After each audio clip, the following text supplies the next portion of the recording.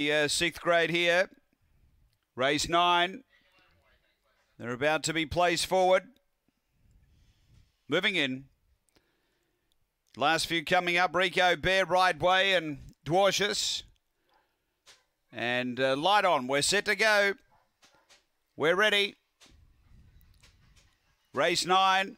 On their way, good speed from Right Way. He's going to drive through and look for the front. Time Wise getting to second. Right Way leads to the first bend. Time Wise putting some pressure on and taking over. They were followed third Dwarcius, and behind those next came Victor Emma. Uh, then Mighty Redeemer and Rico Bear, but down the back and charging away Time Wise. Out by five on Dwarcius. Three away came Victor Emma. Uh, then Right Way, Rico Bear, but up to the turn. Time Wise clear going well over Dwarcius and Victor Emma, but Time Wise is going to be too good. A double for Stamekovic. Time wise by four. Victor Emma second. Dwarcius third. Then Rico Bear. Uh, next we had Right Way and Mighty Redeemer back at the tail. The time here 31.07 after the uh, running of race number nine and uh, the winner number five.